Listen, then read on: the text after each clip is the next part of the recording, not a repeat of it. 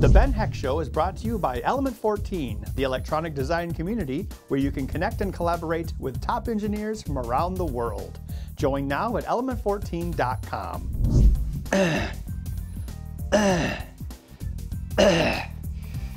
I've been lugging around this giant oscilloscope all day going to job sites. I sure wish it was a little lighter, say 50 pounds lighter. Wait a minute, this is the Ben Heck Show. We could build something, and I've got just the kit for the job. Let's get started.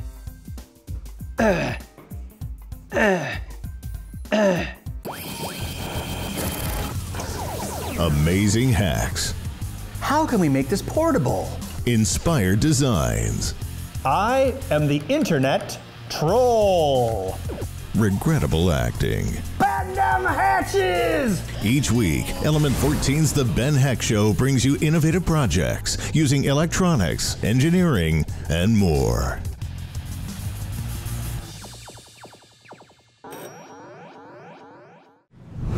A few years ago at Maker Faire, New York, I came across the Gabotronics X Mega X Proto Lab, which is this kit that allows you to put together a very small oscilloscope. It's like that small. I always thought it'd be cool to make a watch out of it, but I never got around to finding the right battery pack. Recently, we did a battery episode, and that inspired me to finally finish this idea. So in today's episode, we're gonna try to build an oscilloscope watch. To make the enclosure and make it all look nice, we're going to use the Formlabs Form 1 Plus printer that they loaned us over the summer. That should give us nice detail and a very small size, which we might not be able to achieve with a standard 3D printer. The Form 1 Plus is an SLA UV resin printer, which means it uses a UV laser to cure resin one layer at a time to build up an object. You can get really fine detail that you can't necessarily get with the chunky nozzle on the 3D printer. Our goal will be to make a super compact, wrist-mounted oscilloscope. And the X Protolab also works as a multimeter or multimeter. So that'll be cool too. Let's get started. This is my assembly plan for the watch. I want to take the X Protolab and encase it in the center. Using the Formlabs SLA printer, we'll make a high detail case to enclose it.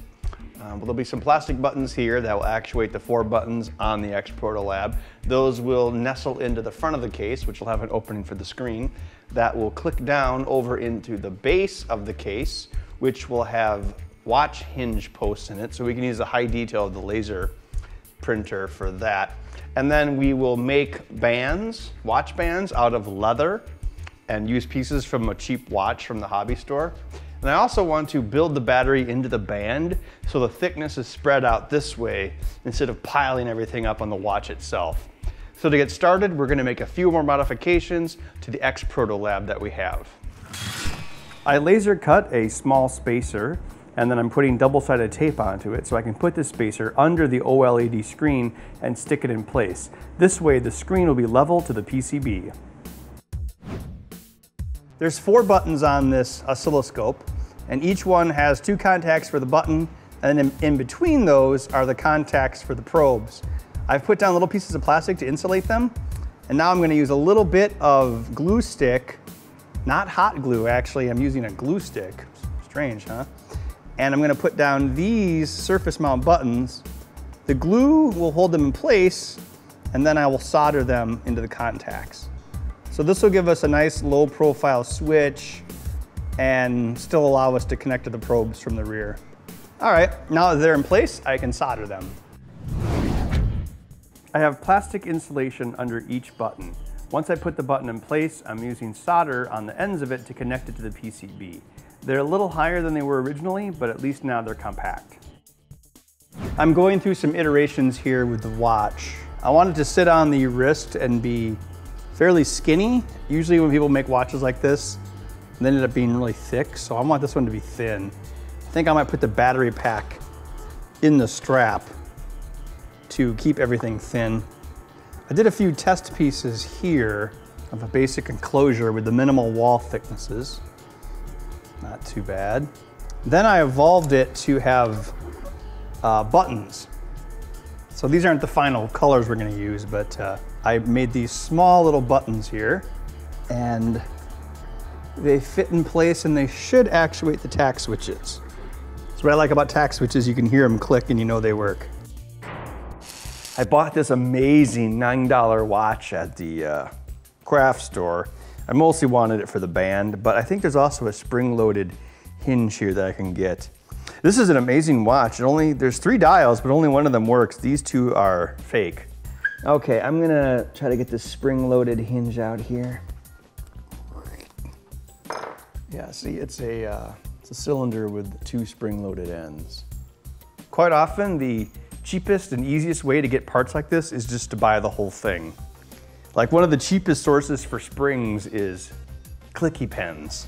So what I wanna do is, you know, have a leather band like this, and then I'm gonna make the watch itself probably in black. It'll have a nice look with the leather. And I have this silver clasp here, or I could use the, the gold would actually look better. Fashion with Ben Heck. yeah, run away, right? so what I'll do is I'll figure out a way to um, work these into the leather band which means I'll probably have to do some sewing on the Ben Heck show. And then I also want to work the battery and see what a lot of smartwatches do for people who make, you know, homemade smartwatches is they stack everything up on the wrist and it starts making it really thick. So I'm going to hide the battery in the band to spread out the thickness. Here's the build platform for the Formlabs printer. I'm going to put a piece of scotch tape across it. The reason I'm doing this is because I want it to help the pieces release after they've been printed. You can print them with supports and the supports have kind of like these notches in it that you can use a spatula to pry up. However, um, the supports are very large and it adds a lot of complexity and cleanup to the model. So what I'm hoping this will do is give us a nice lift surface to release them from the flat surface. I have tried printing things directly on the flat surface and it prints very flat, but they're also very difficult to peel up. So hopefully this trick will work. This is Preform, the software that runs the Formlabs printer. I'm going to add the two watch case pieces for testing that I want to use. So these are my two pieces and I want to orient them so I can get a flat surface. So I'm going to rotate this 180. I kind of wish there were just you know, 90 degree click buttons on this. There aren't. I'm gonna have them, I don't want them to be too far apart because the closer they are, the faster they print. Even though this is using the laser with a Galvo, it's still, you know, the less it has to move, the better. However, I don't want them to be too close together because some of these elements are kind of thin and I don't want them to bend or collide when I'm trying to peel these off of the build plate. So I'm gonna actually take this one and rotate it 180 degrees in the other direction. Okay. This looks pretty decent. I'm going to print this. Okay, here are the test pieces off of the Formlabs printer. Let's see if my tape idea worked. Probably not supposed to touch this with your bare hands, but I don't care. Ha! See, my tape worked. Formlabs, you are free to take that idea and run with it. Tell everyone, hey, you should do this. So you're supposed to agitate them in this 90% uh, alcohol bath. So I'm actually gonna pull these out of the alcohol pretty quickly here. This one's got a little flashing on it, but I think it should be okay. I'm just gonna do a quick fit test. It's got a little bit of a slimy feel. Okay, it does lock together, that's good. I'm gonna give it a little bit more time. Then I'm gonna actually set it out in the sun because it turns out there's this um, free giant fusion reactor in space that uh, will give us all sorts of UV rays. So see, UV rays are useful. Causes skin cancer, cures 3D prints, you know, yin and yang. So I've got these small white buttons that I 3D printed with FDM, Fused Deposition Modeling. And mm, I might make these out of resin, but just for right now, I'm just testing the fit. Okay, so here's our modded board that we tighten the switches on. And there's little tabs on this. If you can see those three tabs, that just helps interlock it. And they should, the tabs should fit between the buttons. Oh, the back piece is warped. See that? Now, good thing I have another one out in the sun. I think it might be this uh, op amp here. It's sticking out a little bit further than everything else. I could always make this piece a little deeper. Of course, I'm trying to keep this thing as thin as possible.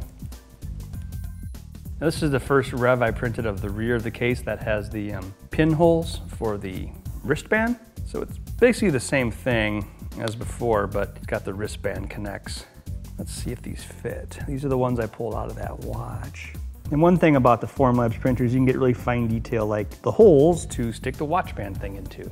All right, I think we're on the right track with that at least.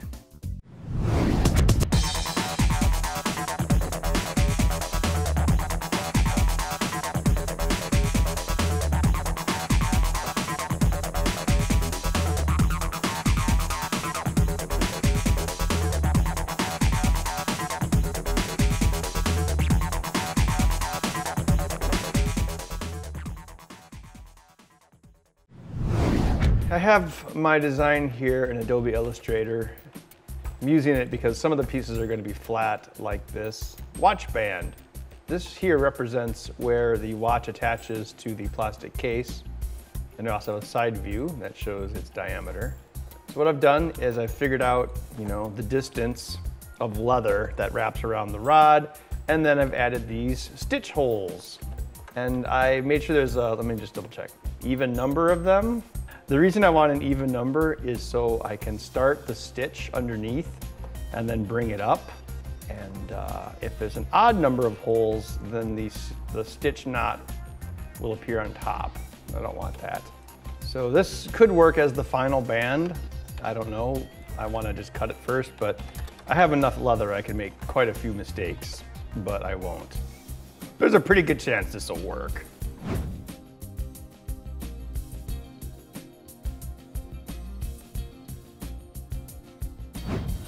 Smells actually worse than I thought it would. But I guess, you know, I should have known better. It is burnt skin. Burnt skin is only gonna smell so good. All right, we have the band half complete.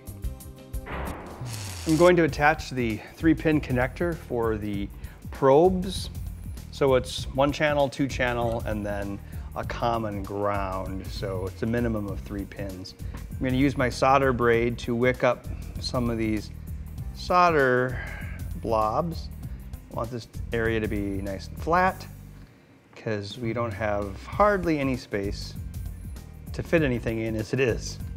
So I looked on my drawing if the um, this little black header sticks 0.07 inches past the edge of the PCB, that will make it flush with the outside of the case. I take my dial caliper and make a mark 0.07 in. As far as the height, I just want to make sure that it is a little bit above the switch so the plastic button has room. Once the header's in place, then I'll take an exact measurement of it and work it into the case design. The contacts for channel one and two are right here. So I'm going to string some wires up over to the header. I'm gonna put ground in the center so you can't plug it in backwards. And then I'll put channels one and two on the sides. This is the three pin header for the probes, channel one, channel two, and ground. I attached the ground to the nearest ground point using a thicker wire to give it some stability along with a little super glue. I then use these thin wires to attach the channel probes themselves. They need to actually go to the left side of the board, so I have to do some rerouting. I'm going to assemble the front of the case now. I want to check that the oscilloscope still works after all the hacking that's been done to it. All right, it still boots, good. So these wires are gonna go to the battery. I made them brown so they look nice with the watch. I'll just have to keep track of which one's which. And then this is where you plug in the leads. We'll do those last. So I 3D printed these little black buttons and they will fit into the slots here, making the buttons fit and also move and click is probably the hardest part of the case design. There's not a lot of room in this thing.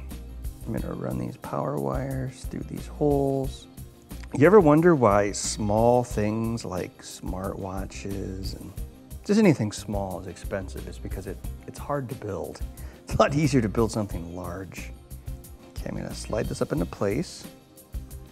And there's a notch in the side for the uh, switch and the connector to stick out. Hopefully these still all click. Now I was making this thing as small as I possibly could.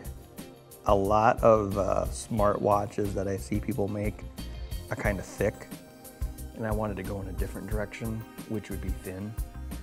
I'm going to double check that it still works and then I'm actually going to glue this together. Will be sealed for all time in a tomb of rock. Okay, all the buttons work. Time to take the plunge. The power of the iPhone in the palm of my hand. This is the um, lithium ion battery pack that I want to use with the watch. It's one of the smallest ones we have laying around. There's a um, protection circuit on it right here and it was folded onto the battery before so I'm just thinking the best way to attach it because I want to actually put the plug on the battery so when you want to charge it you can unplug the watch from the battery and charge the battery separately. Also got to be careful because as we mentioned in our battery episode these batteries are powerful therefore you want to be extra careful with them. And that's another thing, like whenever you solder a LiPo, it's live, you know, it's circuit's always live, so to make damn sure you don't short circuit anything. It's like playing that old operation game. You don't want to hit the side of the walls. Cause just like that game, you gotta get a, get a good shock. There we go. Always makes me feel like I'm defusing a bomb. Bomb.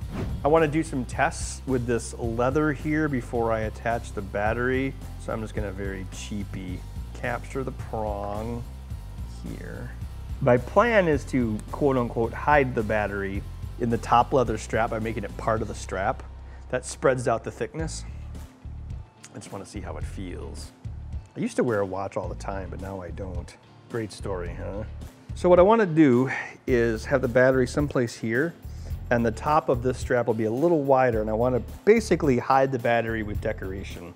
And I actually removed the wire from the battery, and I folded over this header into it onto the uh, protection circuit. Then I surrounded it with new Kapton tape to make sure it's insulated. So I think I can have this pretty high up like this. I'll just temp this in with a little bit of hot glue. So what I'm gonna do here is I'm going to uh, actually put some headers in.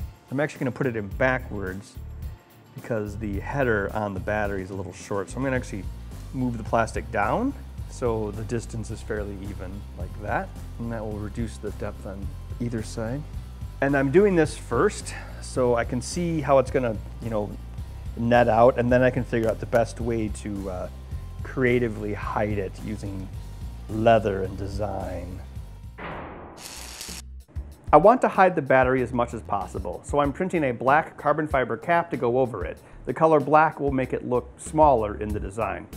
I then put the battery inside of the leather, not on top of the leather, and sew it in place. Finally, I put on the cap to complete the look. It looks pretty thin. I'm attaching the probes now. We're using some colored wire. The center wire is ground. The outer wires are the two channels. That way you can't plug it in really incorrectly. There we go. So my idea is this will be on your wrist and then the probes will go on your fingers and then the black will be an alligator clip, so you can clip it on the ground. Felix went to the hardware store and got these nails. I think these would make great probes. So you think, okay, if it's on your fingertips, what's the maximum distance it might go? And then go a little further. And a little further than that. I don't know that the solder is gonna stick to this nail. I just gotta have faith.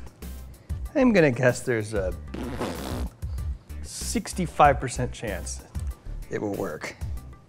It worked. I actually been 100. Also, you know, you could, you know, use this for self-defense if you needed to. yeah, when do we stop being nice? When I tell you. So this is some double-sided Velcro tape that Felix had. It sticks to itself. Mind blown.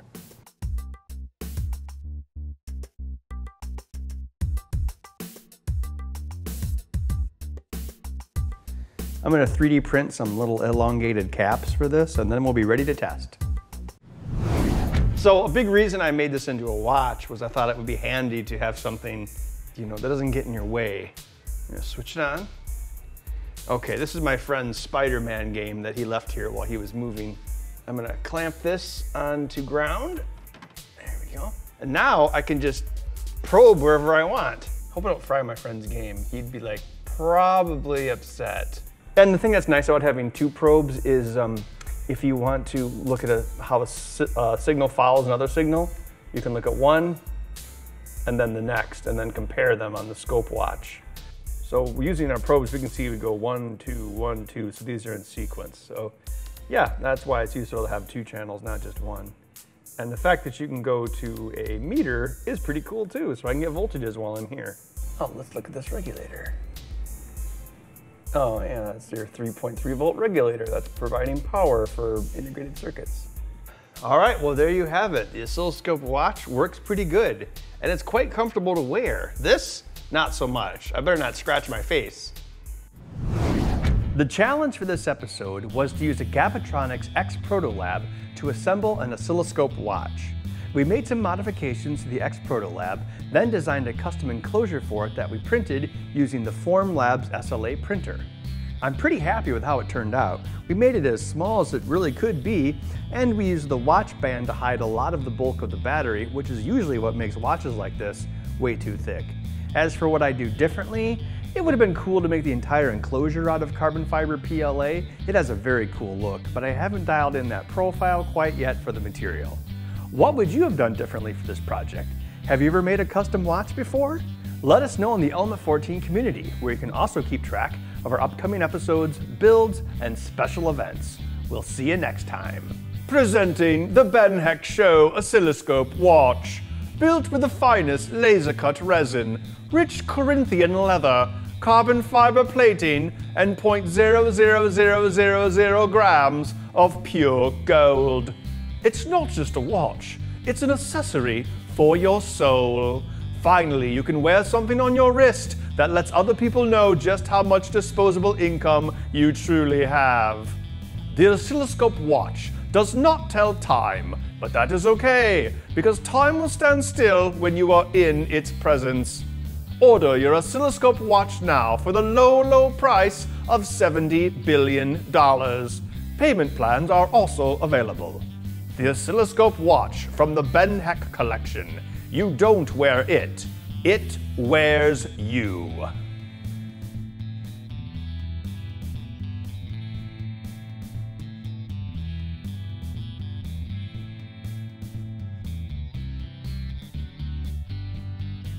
I thought elves were supposed to be wise.